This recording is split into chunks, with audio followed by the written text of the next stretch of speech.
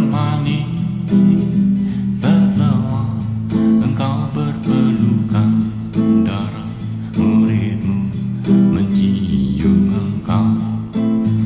Sebagai tanda pengkhianatannya dengan tiga puluh uang perak. Di taman Getsemani